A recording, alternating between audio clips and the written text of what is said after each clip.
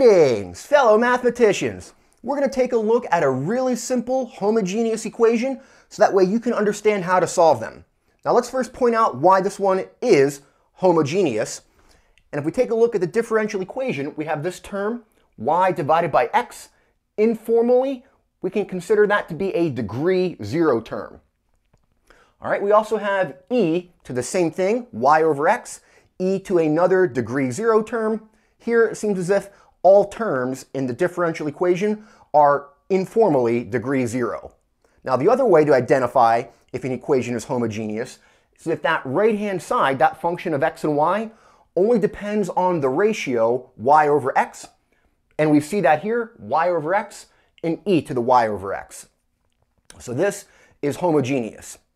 Now we have our substitution here, y equals u times x, and the result for the derivative dy over dx, and we're going to immediately plug those in to the differential equation.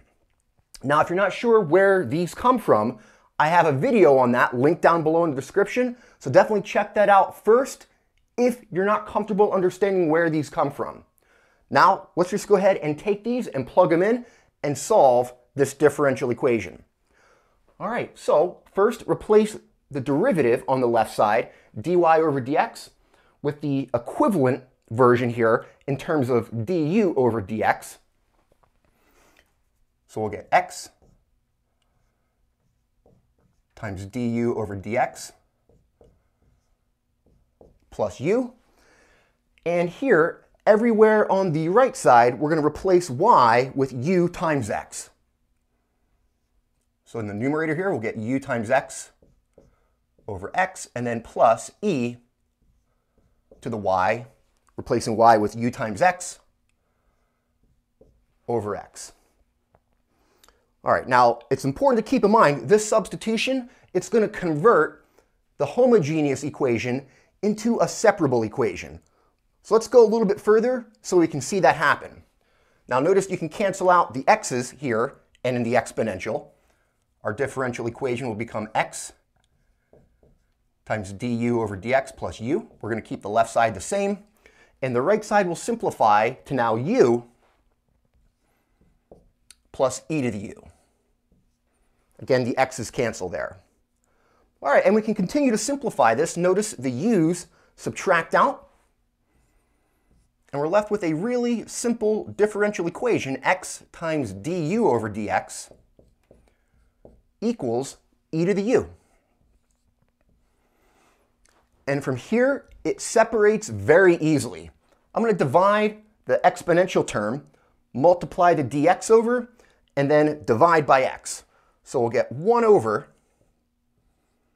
e to the u du equals 1 over x dx. And this is now separated. And from here, we can go ahead and integrate both sides. But don't be afraid to rewrite your terms to make the integration a little bit easier. Here, we're going to rewrite 1 over the exponential as that exponential, but now to a negative quantity. So let's rewrite that as e to the negative u du equals 1 over x dx. And from here, now we can go ahead and integrate both sides. The left side we're going to integrate with respect to u. And the right side we're going to integrate with respect to x. And here, the two antiderivatives we're going to calculate are really simple. e to the negative u, integrating with respect to u, that'll come out to negative e to the negative u. And then integrating the right side is also very simple. That antiderivative just comes out to natural log of x. And then we include our integration constant on the right side. At least that's what I do in my differential equations course. I always include it on the x side. All right, the only other thing we need to do to get our solution to the differential equation is just convert back u in terms of x and y. And don't forget your substitution here, y equals u times x, that's equivalent to u equals y divided by x. All right, so if we just go ahead and plug that in, replace all of your u's with y over x, we get negative e to the negative y over x, and then equals natural log of x plus c. And this is our solution in what's called implicit form. So this is an implicit solution since it's not solved explicitly for y in terms of x. All right, as it turns out, this one you can get an explicit solution solving y as a function of x with a little bit more work. But that's our implicit solution, and that's all we're looking for here.